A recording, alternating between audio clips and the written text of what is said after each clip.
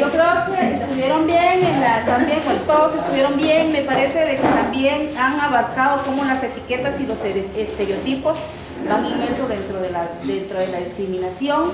Eh, la dramatización me parece un perfecto ejemplo, ¿verdad? Es como eh, alguien que vive en la zona 18 ya está con esa gran etiqueta, una zona roja, ¿verdad?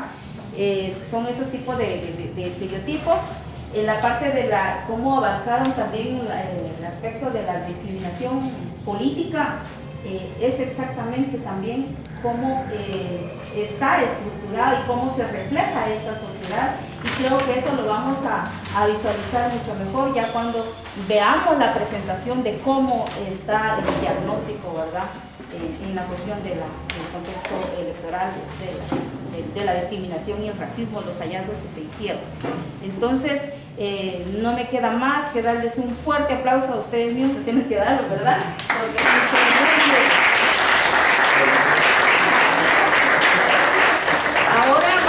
pasar a la parte de la, de la dinámica, o sea, más bien vamos a ir a presenciar allá en el gimnasio, vamos a ir al gimnasio y luego vamos a pasar un café, vamos a tomar un cafecito.